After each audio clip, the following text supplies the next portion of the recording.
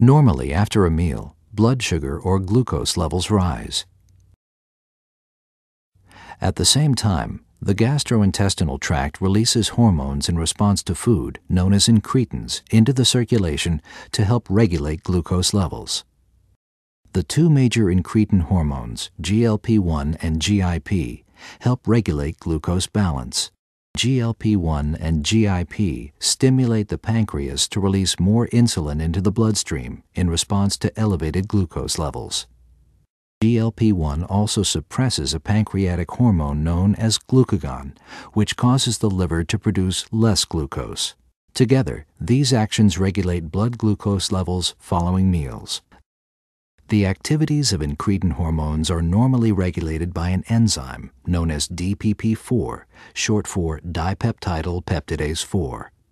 The function of DPP-4 is to inactivate the incretin hormones a new type of diabetes treatment known as DPP4 inhibitor works by blocking this enzyme. Inhibition of DPP4 results in higher levels of the incretin hormones, which in turn help regulate post-meal glucose levels. Most importantly, there is increased glucose-dependent insulin release by the pancreas.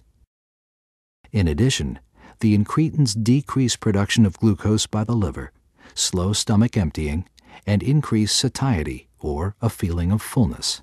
Through these multiple effects, DPP4 inhibition assists patients with type 2 diabetes to bring their blood glucose to target levels.